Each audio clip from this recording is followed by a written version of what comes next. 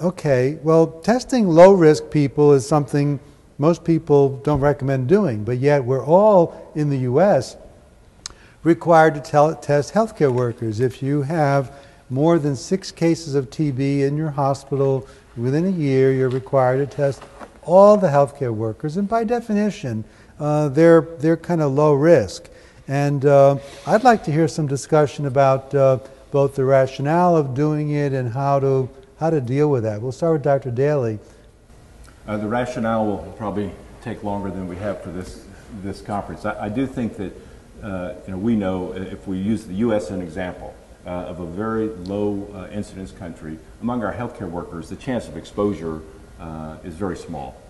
Uh, so we are definitely screening now low risk populations. Uh, and when that happens, we are going to have false positive tests, no matter what test we use, right? So um, as we do this in the U.S. and we learn more about how these IGRAs work in serial testing of healthcare workers, we may need to reflect back on our screening strategies in this country and think about it. Should we be doing early screening? I mean, I, am not sure I know the answer to that right now. So I'm going to just carry forward that thought for just a second. So the specificity of quantiferon is 99.3 according to the package insert.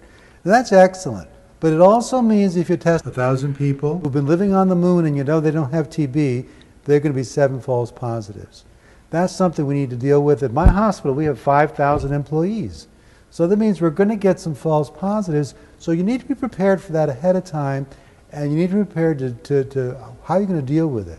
Dr. Iseman, what is your advice to someone who, uh, who is dealing with this situation? Well, the uh, guidelines on preventive treatment or treatment of latent infection really said don't do a tuberculin skin test unless you intend to treat the individual with preventive therapy. And therefore, you really can, with prior probability, say you may be a hospital employee, but if you mow the lawn, you're unlikely to acquire tuberculosis in the hospital. So I, I think in some ways those guidelines were generated by two concerns. One was perhaps some degree of paternalism. You're our employee, if you get infected on uh, the job, we should go bend over backwards to make sure we detect it and protect you.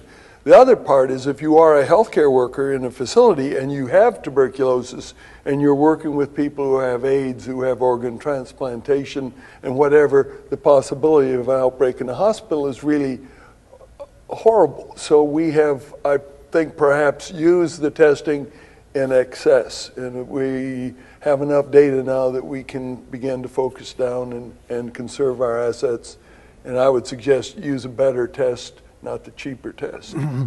Dr. Richeldi, what's your advice to people who are uh, uh, dealing with healthcare workers with uh, positive uh, IGRA tests? You know, Tony, last summer in Rome, we had a horrible episode of a nurse of uh, working in, um, uh, in a nursery with neonates.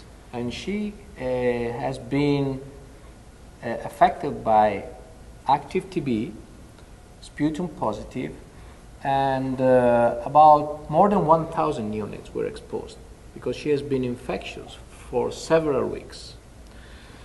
That's something that do not happen often, but when happen, it's a huge problem. And it has been on the newspaper for a long time and now is still ongoing. And so all of these newborns, they've all been tested with the Nigra. And so now we don't know how to deal with it. So this is exactly what Professor Iseman was referring to. Uh, when these episodes happen, uh, I think the hospital is a crucial uh, point and we need to be prepared to avoid, to maximize the avoidance of these episodes and to protect the health cares and also to protect the patients, in particular if they are vulnerable like immunosuppressed or newborns. So I would strongly support the fact that we need to use the best tool that we have to screen this critical population. And honestly, to be honest, 99.3% specificity, that's quite high. Yes. I'm wondering how many tests we are using in clinical practice with that kind of specificity. That I, I don't know, but maybe not so many. So expecting uh, 0.7 non-specific results which means non-specific in a way that we are not sure that if they are really non-specific or we think they are very non-specific, I think is quite acceptable on a wide scale. Now, we heard a lot of talk at this meeting about variability. If you repeat the test, you may not get the same result. And Dr. Daley delivered some of that information, and there were others as well. So, could you please comment on that, Dr. Daley, the variability of the test? Yeah. Or reproducibility. We heard these terms uh, argued about. Yeah, well, I, I, without going into the details of what all those terms mean, uh, you know, you can look at the variability of a test in a short time frame, uh, minutes, hours, days, um, uh, go out a long time frame, and the terminology changes in terms of how we describe that variability.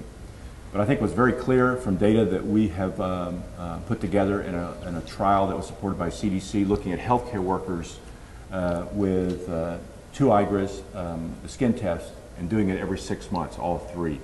And after enrolling 2,500 healthcare workers at four sites in the U.S., um, what we found was there's variability.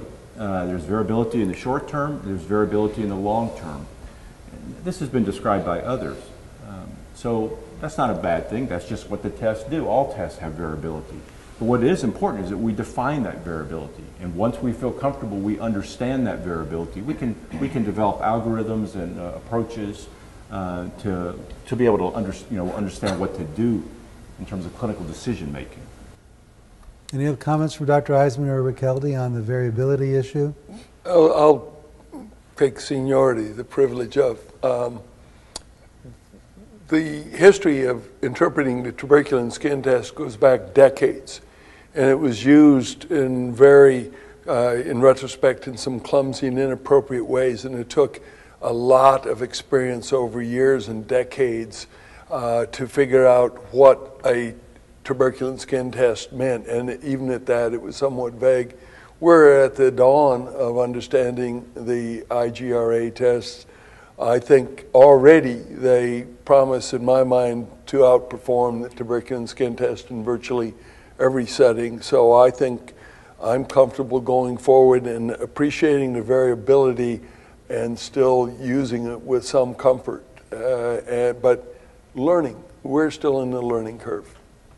Dr. Richeldi? I can agree more than that. I think that the the studies of, of, of that are being carried out by Dr. Daley are extremely important because they will uh, they will just set the point for establishing how much variability we could expect from one test. So we need to expect variability from any test. I think for these tests, I think the variability is, is acceptable is manageable in clinical mm -hmm. practice. That's important thing. So what I want to know from a test, which is not hugely variable without any prediction and it can change in 50% of cases. That's not the case for these tests. So we know there is variability, there is limited, it's probably limited to settings where we can manage it and quantifying, addressing that variability, I think is very important at the moment. And from these studies, we'll have very exact information and will help us in using the test in clinical practice.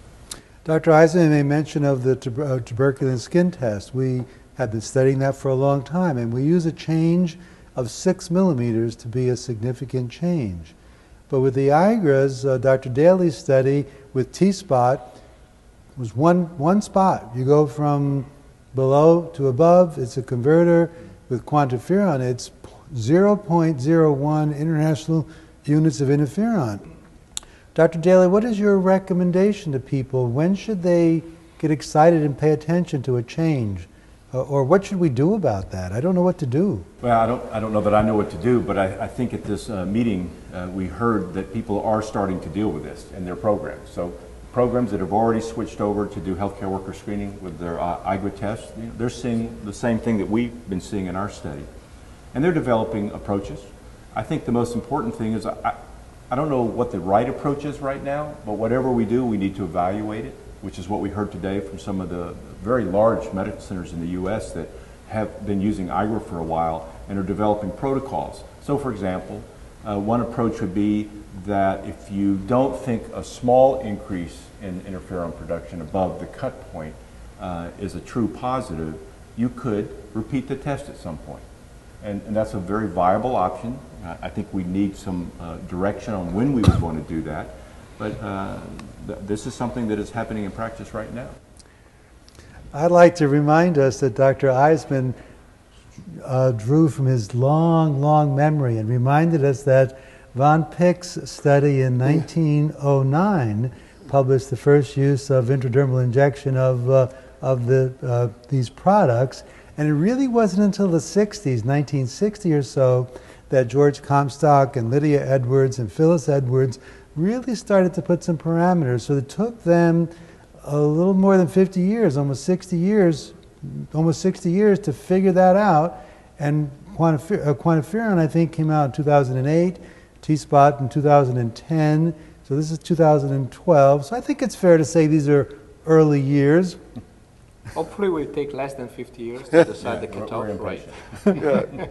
Uh, but I was encouraged, like Dr. Daley said, uh, we heard a presentation by Dr. David Motter, who analyzed his uh, data from the University of Illinois, where he had uh, many thousands, I think it was five or six thousand tests, and he found that if the if the first positive result was 1.0 or less, that it was likely to be negative the second time uh, that the test was done, and better you should wait maybe one or two or three months to repeat it was the best time to see it.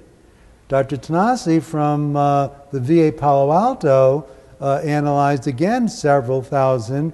She thought if it's less than 1.51, that it was likely to revert back to negative.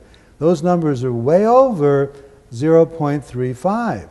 So, my question to you, gentlemen, is what do you do with someone who's between 0.35 and 1.5?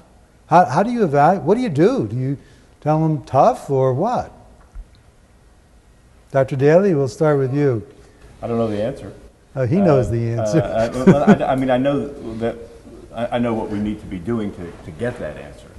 Um, uh, but I want I want to make a, a point. Both of those presentations uh, do, or, or those uh, physicians do that because they know they have low risk healthcare workers. right. If there's an exposure, they don't do that. So th- this idea that there's this gray zone or whatever you want to call it um, that could reflect some variability uh, in the in the host. Um, we, we think about that in the setting of this. These are low risk individuals, and therefore we are willing to wait to retest at some period of time. But I think it's very important to say if these are high risk, meaning there's an exposure, uh, then those cut points uh, I think should be respected. The current the current cut points. Yeah, thanks for correcting me on that because Dr. Mater, particularly, but I'm sure Tanasi as well, were very clear to point out that the first thing is a clinical evaluation. Then you fall back on the numbers. You think that's a good idea, Dr. Iseman? Well, yeah, I, I think um, we have an inevitable desire to have some objective validation of our clinical impression. Uh, we, whether it be emotional or the threat of litigation, um, pure respect, we like to deal with numbers. But numbers don't exist in a vacuum, and I think it is the challenge and also the blessing of working in clinical care that you can apply your intelligence to a laboratory value. Dr. Richeldi, can you give us a European view on this? Uh, I'm, I'm not particularly a fan of any gray zone for any test. I think the gray zone is made by the clinician. So, in other words, we have a 0.35 cutoff for the QFT, let's say. If I have a patient that has been bone marrow transplanted, is 0.3. I, I probably believe that data is probably latently infected. I will take some action. If I have a very uh, young guy jumping in the room just because he's coming for a screening, he has no risk factor, 18 years old, coming from the gym, has 0.4, I will not care about that. Maybe I will not going to retest him. So, it, and the concept of the risk, again, and the context in this case is, is, is a key. I think that will be the gray zone of the clinical judgment. But I don't like, in general, the idea of transposing that gray zone to the test because you will be risking that, let's say, you take a patient with You take a children with a leukemia is 0.8, and you ask yourself if, if you are in a gray, if you ask if you are in a gray zone, that would be terrible risk of misinterpreting important clinical information.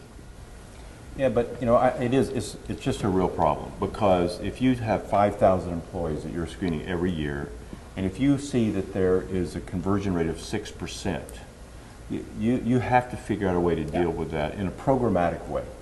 And, uh, you know, I see that you can approach this clinically, epidemiologically, or within the laboratory. So the lab, you can say, okay, the laboratory is going to give us this gray zone. Uh, or you can use your clinical and epidemiologic data to help you interpret that. But you have to do something because in the U.S. we, we, we treat with a lot of isoniazid. And these people could get treated with isoniazid inappropriately because it's a false positive. So, I mean, I, I, again, I think that we learned some approaches that you can take to, to figure this out. And I look forward uh, to hearing the results of those evaluations. We can go back in history as well. Uh, John Bass, who worked at Mobile, Alabama, and worked in, in New Orleans with uh, Bill uh, Bailey, they observed that if they did employee health testing, skin testing, that they had a lot of people who appeared to be newly infected if they used six millimeters increase in induration. And they said, and that was inappropriate. It was like 15%. Now, both of those cities, New Orleans and Mobile, are deep in the middle of the NTM country where there's a lot of regular mm-hmm. exposure. And they said, if on the other hand, we simply change the criteria for a conversion from six millimeters to 10 millimeters, it fell into the expected range of employee infection rate. So th- this is how you, you use the test. You are appreciative that it's not the final iteration and we learn from it. Uh, but I, I, I, I'm perfectly comfortable going forward with the testing and uh, with the caveat that it's uh, not fully mature and we need, as clinicians, uh, to uh, appreciate the variables. I want to underscore that. So what Dr. Eis, what I heard Dr. Iseman say is the guidelines and the cutoffs are fine, but your judgment is better. So you know it's okay to modify things a little bit uh, for your own local situations. Did I overinterpret that, or is that what you meant? I uh, have always felt that we need objective data. I, I don't want to sound like a cowboy that I, I always trust my clinical judgment. We, we gather data and we sit down and look at the patient and the circumstances. And rarely, as, as Lucas said, rarely is it tested as just binary. It's yes or no, and you have to go forward. One, one hypertension when the patient is scared out of their mind doesn't mean you start them on IV antihypertensive drugs. And, and so I, I think, um, and, and let, me, let me say by interrupting myself, that people who are using this test who don't have a lot of clinical experience will not have very much comfort in interpreting. So they're looking for guidance, and that's where sometimes some professional discussion of the of the variables is important, but it um, it's going to be it's going to be difficult for a while. Dr. Daley, what would you recommend people to go to when they need guidance on these tests, interpreting them? I was going to make a decision to switch my health facility to a whole new system, then I would want to learn as much as I can by, from those who've already done the same. But from an individual perspective, I mean, there are people in your communities. Uh, certainly, the, the regional uh, TB centers would be one resource, um, but uh, there are likely others that have uh, been using these, these items. Anthony, Antonino, can we make those uh, centers accessible to people uh, watching this session? Is there some way you, is there a you- Sure, we can put a link website on. something like We that? We could put a link I on, think I think they'd like that. I don't think that's a problem. I know Dr. Lee Reichman runs the center in New Jersey. He, it would be particularly welcoming, but I, we can put them all on. I think that that's, uh, that's definitely an okay thing. I'll get it, I'll get it okayed, but I think that's a great idea. Well, I think we're concluding our one-hour session, so I'd like to give each of you an opportunity to make a concluding statement. Dr. Richeldi?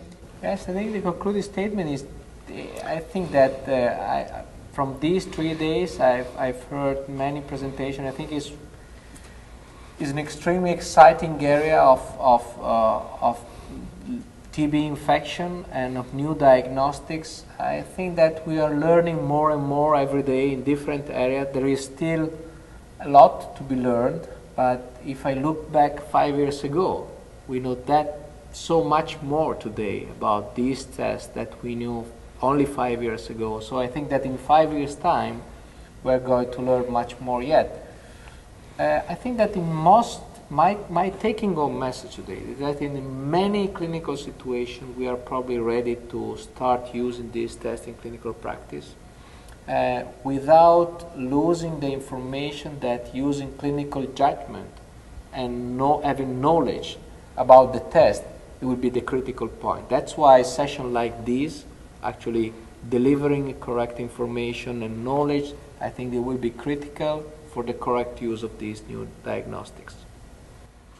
Dr. Iseman, a concluding comment? Dr. Godola made an observation that kind of jarred me, and I should have thought about it more often. I should think about it all the time. He said, This is the only test we use in medicine in which we take a foreign substance from a pathogen and put it in the human body.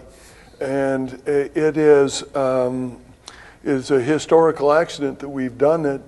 Um, it. It strikes me as we have a pretty good record of safety, but it is maybe the least regulated, uh, overseen, quantitated test we do. I mean, uh, the, the literature about what antigen to use, whether it's applied well, whether it's Redwell, is absolutely staggeringly bad.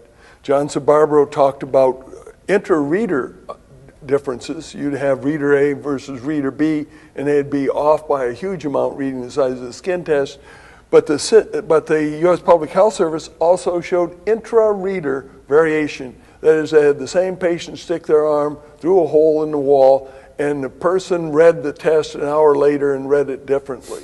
And if you need any evidence that this is a wild variable I mean, it's painful to me to compare a test with something that's as, as slapdash as a tuberculin skin test. I, I think it's time not to praise the tuberculin skin test, but to bury it. Uh, I think uh, we have to begin at this time forward to replace it with a test that is more reliable, objective, and uh, more accurate. Dr. Daley, a concluding comment? Yeah, I think over the last three days, um, based on what's presented, um, what I came away with was that uh, we have better tests now than the skin test, and it's time to use them. Uh, I, I, think we saw that there are uh, many people, many facilities that are using these assays now very successfully. Uh, we should learn from their experience um, and, and start using these tests because, as Dr. Iseman said, uh, you know, we have, we have a better test now, those are the IGRAs. Well, my, my conclusion is that the, these tests are indeed better. Uh, and they're better in a very specific way. Uh, these tests are highly specific. Uh, and whenever we apply them, they give us a correct answer that is a negative test. In the vast majority of cases, particularly in healthcare workers, 85% are negative. So we remove those uh, patients from concern or issue, and we get to focus on a smaller set. And there, I think the take home message is to be a doctor apply your clinical skills, apply your thought process and all the things you know, and make your best judgment. That's what doctors do all the time. We do that with EKGs, we do that with chest x rays, we do that across the board. So this is no different. Don't give up your clinical judgment to the laboratory. Don't become a slave to a number. Use your brain. That's what your patients want from you. That's what you've been trained to do and take CMEs like this one. Thank you very